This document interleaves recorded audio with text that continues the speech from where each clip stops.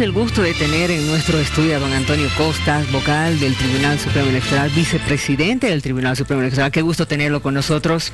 Bienvenido, muy buenas noches. Gracias, eh, Miriam. Un placer más bien eh, estar acá en hora 23.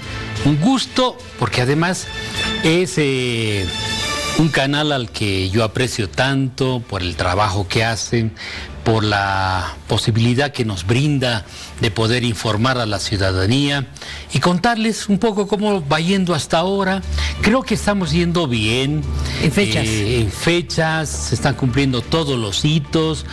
Eh, prácticamente todos los tribunales electorales eh, están en cronograma, las maletas con, con, el material electoral. Ya fueron enviados al extranjero, ya estamos empezando a tener los reportes de que las maletas están, han sido recibidas por nuestros coordinadores, así que eh, hay satisfacción por parte del órgano electoral en su conjunto de la sala plena del Tribunal Supremo porque se está llegando oportunamente a cumplir estos hitos. Qué bueno, qué bueno. Y el trabajo de los jurados y juradas también, me imagino, en su capacitación. Sí, hemos tenido ya varias juntas de, jurados. El otro día recibimos, eh, hace un par de domingos atrás, recibimos el primer eh, junte de jurados en Santa Cruz. Le prometo, Miriam, que yo me sentí emocionado. ¿Por qué? Más de 5 mil personas en un coliseo. Claro, Santa Cruz también tiene una cantidad de jurados muy grande, muy importante, pero ver cómo mis colegas, todo el equipo, sabían motivar, cómo estaba la gente. Habían dos mil que estaban un poco en la espera que concluye este primer eh, proceso de capacitación e ingrese el siguiente grupo. Eh, hay mucha, mucha voluntad de participación. como tenemos un sistemita que nos está permitiendo hacer seguimiento tanto a la producción de las maletas electorales como a la notificación de los jurados, estamos muy contentos. Qué bien, y está funcionando perfectamente. Hemos innovado muchas cosas, hemos innovado muchas cosas. Hay un sistema que nos permite tener la información prácticamente en línea de lo que es el sorteo de jurados, la entrega de los memorándums, la capacitación. Posteriormente nos va a permitir hacer el seguimiento de la entrega de las maletas a los notarios y su posterior entrega el día de la votación al presidente de mesa para que ellos puedan instalar la mesa. Hemos incluido el pago de estipendios, el cierre de mesa. Todo eso está en los celulares de las autoridades, tanto nacionales como departamentales, y todo el equipo operativo y nos está orientando muy bien. Qué bien. Nosotros estamos pendientes de cuándo van a comenzar ustedes con la práctica del TREP de su sistema de verificación del, voto, ¿no? Yo le quiero comentar lo siguiente. A ver. La empresa eh, Neotec ha concluido prácticamente todo el periodo de ajustes, de instalación, de tanto del cómputo como del TREP eh, están haciendo ya en el equipo de informática y del CERESI eh, pruebas de consistencia sobre el procesamiento y, seguramente hasta mañana vamos a reunirnos eh, con los equipos del CERESI, de, la DNTIC y también con el equipo técnico de Neotec para fijar el primer simulacro ya mayor a nivel interno del órgano electoral y fijar el simulacro externo. Como también estamos en proceso de convocatoria de los operadores TREP, entonces, este es un proceso previo. Eh, imagínense, estamos ya con listas que están siendo procesadas, estamos a más de 17 días y en realidad los necesitamos los cuatro últimos días. Claro. Entonces, yo calculo que en la subsiguiente semana vamos a hacer una prueba importante y vamos a invitar a los medios, vamos a invitar también a las organizaciones políticas, a la sociedad civil a que vean este simulacro. Sin embargo, vamos a tener, eh, entiendo que ya está confirmado, eh, una reunión, un desayuno de trabajo con medios de comunicación en los que ellos también van a poder observar de manera limitada cómo funciona el TREP. Todos los que estén participando en ese desayuno de trabajo van a tener la oportunidad de ver cómo es el procedimiento ya operativo del TREP. Ahora, ¿cómo es eso de la convocatoria para los operadores del TREP? ¿Son personas que están siendo eh, especializadas en este, en este manejo? El sistema es tan amigable que nosotros contratamos a personas que son mayores de 18 años, pueden ser bachilleres o profesionales, eso no tiene ah. ninguna limitación. Eso sí, que sean hábiles a manejar los celulares. Todos los celulares son celulares inteligentes, smartphones.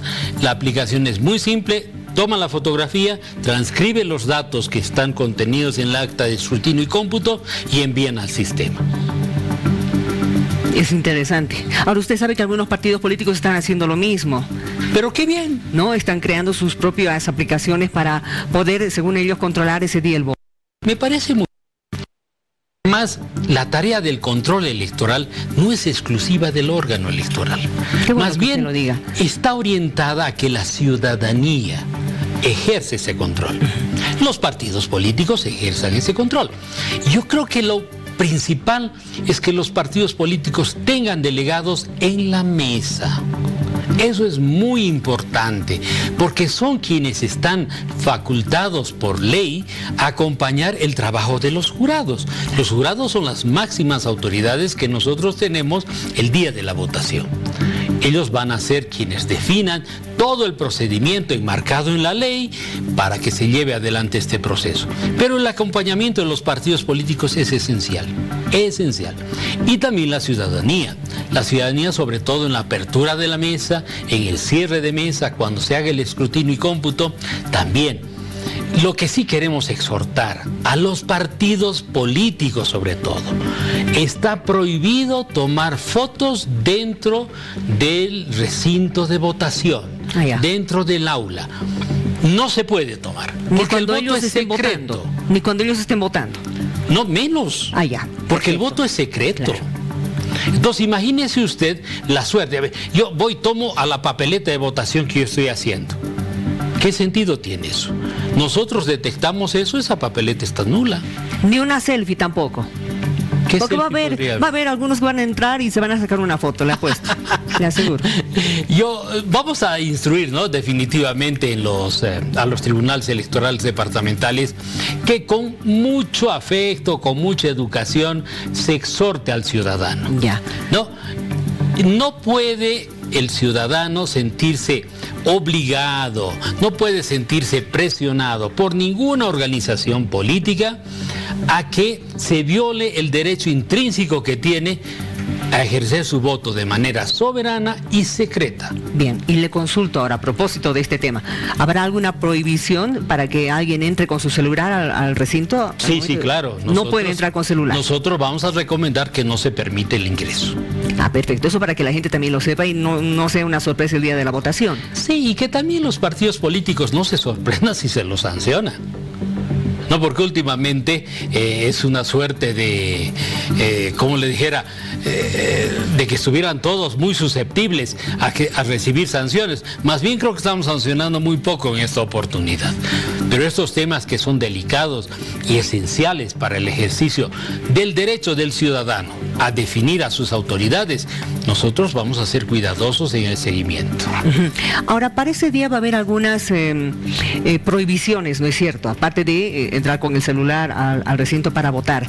El, hecho de, que utilicen siglas, por ejemplo, también está prohibido.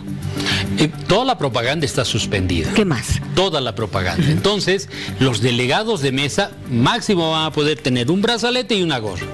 Y al momento de ejercer su voto deben retirarse. Nada más. El, el, brazalete. el, brazalete. y la gorra no pueden portarla porque también es una razón para que se anule el voto. No pueden haber ingesta de bebidas alcohólicas. Entonces se va a decretar un auto de buen gobierno, los gobernadores lo establecen claramente y, la fuerza pública, la policía boliviana, va a hacer cumplir esa disposición. No pueden haber manifestaciones ni reuniones sociales. El día sábado no vamos a permitir ninguna, menos el día domingo. Tampoco puede haber tránsito. Nosotros tenemos que eh, limitar toda la movilización. Solamente se movilizarán los vehículos que estén debidamente autorizados con los pases de circulación. Obviamente serán las instancias que eh, los médicos, la, la salud pública, los periodistas, quienes están acreditados para la observación electoral, las autoridades del cuerpo diplomático también, como ellos colaboran con visitas eh, ocasionales también a los recintos de votación, lo van a hacer con las Fuerzas Armadas y la policía y las autoridades de Estado que sí tienen circulación. Muy bien. ¿Qué va a pasar con las redes sociales? ¿Va a haber control para, para que ese día no estén filtrando información o, como usted mismo dice, sacando fotografías? Bueno, está establecido que todo lo que se está regulando en redes sociales está en el ámbito de lo que son eh, sitios oficiales del Estado, todo lo que significa en los diferentes niveles de gobierno, nacional, departamental, municipal y regional, también todo lo que corresponde a los partidos políticos. Hay una exposición, una prohibición expresa, no se puede hacer ni conteo ni nada. Los resultados se van a eh, publicar a partir de las 8 de la noche. Eh, hay un ámbito en el cual no se regula, que es ya lo intrínseco al ciudadano como tal, ¿no? Ese es un debate que se lo tiene no solamente en Bolivia, se lo tiene en el mundo respecto a qué deberíamos regular en las redes sociales y, y qué se podría regular, porque inclusive las cuentas en las redes sociales no son las cuentas normalmente eh, esperadas con la identificación plena, sino a veces son alias y se puede eh, tener una, serie de cuentas falsas. ¿no? Volviendo al celular, al momento ya de hacer el escrutinio y de mostrar el acta, eh, quienes son justamente de parte del TREC sí van a poder sacar la foto, pero también estos partidos políticos que están con sus aplicaciones. Lo que va a pasar es que va a mostrarla. Y todo el mundo va, la persona que está ahí, parte del público también, parte de la población va a poder sacar una foto. Ah, Lo que no puede hacer el partido político es interferir el trabajo de la sala. Ah, Muy bien. De, de la mesa, ¿no? Ellos también tienen sus propias copias. A los partidos políticos se les otorga sus copias. Ahí va a estar, ellos tienen que revisar la copia, que esté todo clara, le toman una fotografía a su copia y le envían pues a su centro de cómputo. Y, lo, mismo va a pasar desde el exterior del país. Sí, también, exactamente igual. Estamos ya en los últimos detalles eh, para determinar quiénes van a tener la responsabilidad de hacer el envío.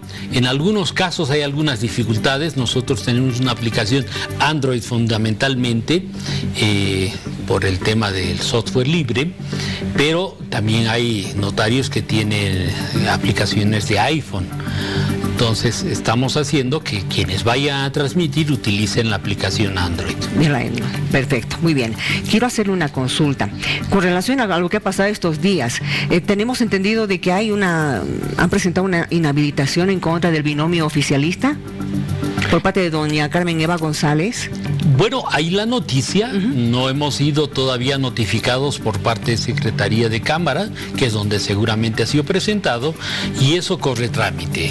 Y indudablemente tiene que correr trámite rápido para que nosotros podamos definir. Hasta el día 5 se estableció como el límite para que se puedan plantear las inhabilitaciones de senadores, de diputados y de autoridades supranacionales. Entonces, si ha habido otro tipo de memorial pidiendo la inhabilitación, esta también va a ser tratada. Nosotros tenemos el día miércoles reunión de sala y seguramente ya vamos a tener toda la información y definiremos. Y don Antonio, ¿qué opinión tiene con relación a lo que han determinado en el Cabildo en Santa Cruz? Bueno, a ver, yo creo que el Cabildo es una manifestación ciudadana contemplada en la Constitución Política del Estado y que por lo que yo estoy leyendo, las conclusiones eh, generales están orientadas a que este proceso electoral se desarrolle con normalidad.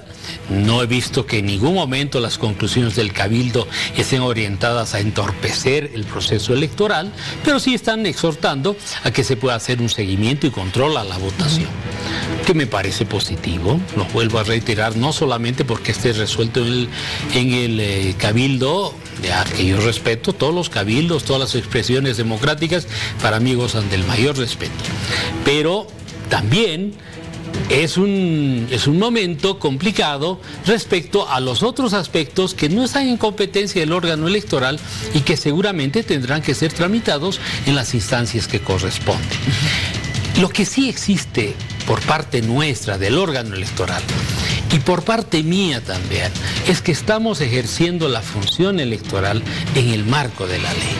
Y estamos haciendo todos los esfuerzos para que este proceso electoral del día 20 de octubre se desarrolle con normalidad y se, también se desarrolle con la mayor transparencia que estamos alcanzando hasta este momento.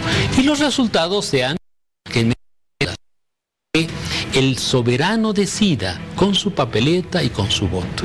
Ahora, algunas voces señalaban de que para que tenga legitimidad un cabildo necesitaría de veedores del Tribunal Supremo Electoral. El cabildo no es vinculante. Bien. Entonces es optativo. Las autoridades pueden pedir que nosotros acompañemos o pueden o no pedir. No, no, no es un tema eh, eh, por ejemplo, el referéndum sí, además lo administramos. Esto es una consulta directa al ciudadano de temas de interés o de normativas. Pero el tema del cabildo es una expresión de la ciudadanía democrática además y que emerge a citación de instituciones o inclusive de personas. Porque podría darse... ningún problema con ustedes. No, no, absolutamente.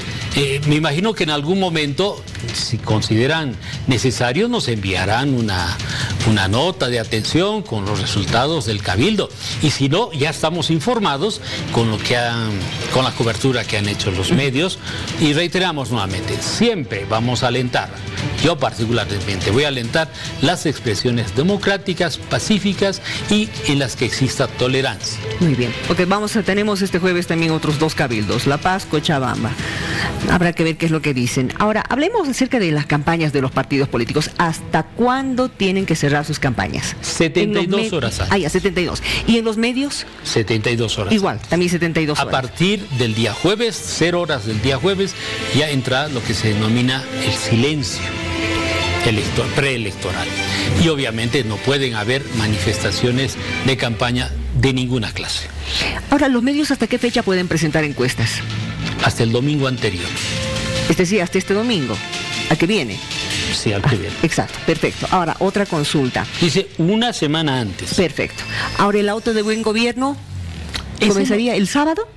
Ese lo establece la gobernación y generalmente está 48 horas antes. 48, sería desde el viernes. O sea, sería eh, sábado y domingo. Sábado y domingo. Sí. Y el día después no. El lunes generalmente, generalmente, ya el auto de buen gobierno, aunque establece hasta las 24 horas, ya eh, a partir de las 6 de la tarde se apertura todo el tránsito, porque necesitamos más bien de que las movilidades que están trayendo los sobres de seguridad puedan movilizarse sin ninguna observación. El ciudadano también va a acudir o a las eh, sedes de campaña o van a acudir a los cómputos departamentales, donde también van a participar en esos cómputos que son públicos. Entonces, generalmente a partir de las 6 de la tarde se flexibiliza el tránsito. Perfecto. Ahora, con relación a la papeleta, don Antonio, eh, ¿va a figurar la figura de la foto de doña Paola Barriga? No, porque no figuran las fotografías de los vicepresidentes. Ah, Solamente figuran las eh, fotografías de quienes son candidatos a la presidencia. Perfecto, entonces no hay problema por ese lado. No, no hay. Muy bien. La otra consulta que le hago, sé que se están preparando para una auditoría externa para conseguir el ISO 54001. En realidad en curso están dos. La del ISO electoral, que hoy justamente ya está la empresa certificadora, que es una empresa mexicana. Hemos concluido todo el proceso previo. Si usted me da dos minutos, le hago un recuento. Adelante. Eh, hace cuatro años comenzamos todo ese proceso de reestructuración del órgano. Era tan interesante lo que pasaba en el órgano que siendo una instancia electoral no tenía una unidad que haga los procesos electorales. En realidad confluían todos a hacer el proceso electoral. Entonces, dentro de la reestructuración se ha establecido un servicio de procesos electorales. Fundamental porque eh, el ISO electoral está centrado justamente en los procesos electorales. Registro de candidatos, registro de militantes, registro de electores, logística electoral, eh, escrutinio y cómputo, publicación de resultados, jurisdicción electoral, todo esto está inmerso en lo que es el ISO electoral. Entonces, fruto de esa reestructuración, nos planteamos también el reto de llevar adelante la certificación ISO electoral. Hasta ahora ha ido muy bien, se ha dado un eh, impulso muy muy fuerte porque hasta fin de año habíamos concluido toda la parte preliminar. Pero hubieron cambios de directiva a raíz de las renuncias que hubieron de las autoridades, de, mis colegas vocales, pero en enero se volvió a lanzar el impulso. Es un impulso muy fuerte. Presidencia en esto ha jugado un rol muy importante. María Eugenia ha motivado a la cooperación para que nos continúe apoyando. Eh, hemos hecho la auditoría de evaluación interna, le cuento. Una auditoría que se ha hecho con consultores calificados, nacionales inicialmente. Hemos tenido muy buen resultado. Hemos tenido el acompañamiento de dos consultores especialistas en ISO electoral, el ingeniero Silva y el ingeniero Ceseñas, que han estado acompañándonos. Concluido todo esto, se nos acaba hasta el dinero de la cooperación. Bueno, no importa, lo hacemos con recursos propios. Hemos completado todo el trámite de la contratación, se ha contratado a la empresa certificadora y hoy están los dos auditores. Van a, van a evaluarnos el día lunes hasta el día jueves. Nos están ya visitando. Mañana seguramente están, van a estar en Tarije y en Santa Cruz, que son dos de los tribunales electorales que van también postular esta certificación. Y tendremos el informe el día jueves. A ver, ¿cómo Así rapidísimo. Rapidísimo. Y si todo va bien, si Dios así lo dispone y bendice esta acción, estaremos certificados en noviembre. Qué maravilla. Y en un eslogan. ¿ah? ¿Qué significa que ustedes reciban esta certificación? Significa que hemos completado un trabajo previo de reorganización. Esa visión de actividad, esa visión de improvisación está empezando a sustituirse por un concepto de calidad y de proceso. Entonces, la certificación ISO está centrada en los procesos, se los escribe y se los cumple. Y hay un auditor que está mirando que se cumpla el proceso. Entonces el grado de improvisación disminuye y nosotros podemos tener indicadores de evaluación. Eso es algo que habitualmente no son muchas las instituciones que afrontan esto. Y nosotros hemos ido un poco lejos. Hemos certificado todo lo que corresponde a los procesos electorales, a todas las variables, son ocho variables. Normalmente podríamos haber certificado, por ejemplo, el registro de los electores. Claro. O el registro de candidatos y de electores. No, pero ahora vamos a certificar todo. Hemos hecho el trabajo previo para certificar todo. Eso es muy importante. Y el segundo aspecto que estamos viendo es una auditoría concurrente, que además de haber hecho un ethical hacking en este periodo muy riguroso, va a acompañarnos con la auditoría a los programas que vamos a utilizar, el día de la votación a los cómputos que se van a hacer, tanto el TREP como los cómputos departamentales, y concluido todo esto al cómputo nacional. Y nos informará de los incidentes y también nos informará de todo lo acontecido y nos recomendará para que sigamos en esta mejora continua. Qué bien. Esperemos tener buenas noticias para el próximo jueves para, con relación a esta certificación. Y ya para ir cerrando esta entrevista, sí, para ir cerrando ya la entrevista, don Antonio, eh, ¿qué pasa con los veedores internacionales, los de la OEA, los de la Unión Europea? ¿Cuándo llegan?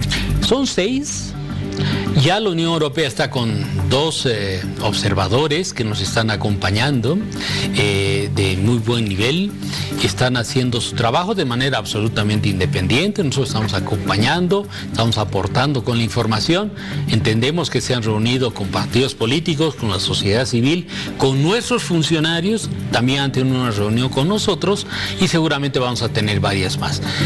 Ahora, está viniendo la OEA, está viniendo UNIORE. UNIORE es una visita muy importante porque se refiere a autoridades de los órganos electorales eh, de toda Latinoamérica. Y en esta oportunidad vienen cuatro presidentes. Viene el presidente del Instituto Nacional, Nacional Electoral de México, el señor Lorenzo. Eh, vienen también eh, de Chile el presidente de CERVEL viene también de Guatemala, su presidente. Entonces estamos muy contentos porque están viniendo 21 autoridades y 4 presidentes. Para nosotros eso es un eh, indicador, primero, de del deseo que tiene de acompañar este proceso. Entienden también que es un momento complicado para el proceso electoral, pero también un respaldarazo. Qué bien, qué bien, don Antonio. Qué bien. Vamos a estar entonces eh, teniendo ya más novedades con relación al trabajo que ustedes están realizando en próximos días, lo del inicio de la práctica del TRE, en fin, esto de la certificación. Así es que esperamos nuevamente poder conversar con usted y gracias una vez más por haber venido. No, un placer nuevamente eh, estar con usted, saludarla, siempre ponderar el trabajo que hace el canal y usted en particular. Se le agradece. Periodista tan destacado. Muchas gracias, que le vaya muy bien. Nosotros seguimos con más.